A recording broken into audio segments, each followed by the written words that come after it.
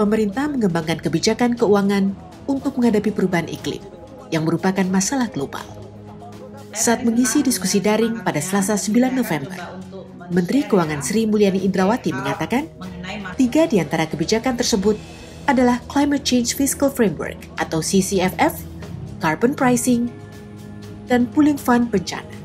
Ia menjelaskan, secara singkat, CCFF merupakan kerangka untuk memformulasikan kebijakan fiskal dan strategi memobilisasi dana di luar anggaran pendapatan belanja negara APBN. Sementara itu, pengembangan kebijakan carbon pricing atau dikenal sebagai nilai ekonomi karbon NEK dapat didefinisikan sebagai pemberian harga atas emisi, kandungan, potensi emisi gas rumah kaca. Dari instrumen perdagangan dapat dilakukan dengan perdagangan izin emisi dan offset emisi, sedangkan dari non-perdagangan dilakukan dengan pajak atau pungutan atas karbon dan pembayaran atas keberhasilan menurunkan emisi.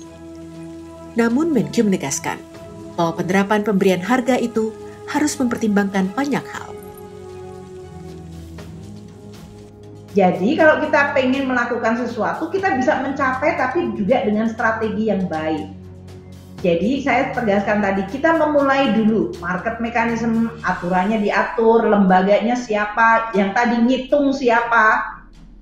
Karena kita nggak boleh cuma berbekal semangat tadi aja Mas Budi kan. Jadi kita ya. harus menatanya tadi. Institusinya siapa, legislasinya gimana, aturannya gimana, harganya gimana, kemudian siapa yang monitor, siapa yang kemudian menjadi referinya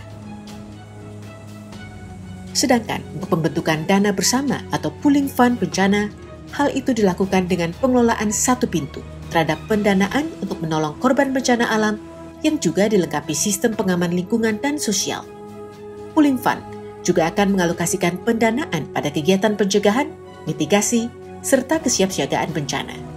Tim kantor berita antara mewartakan.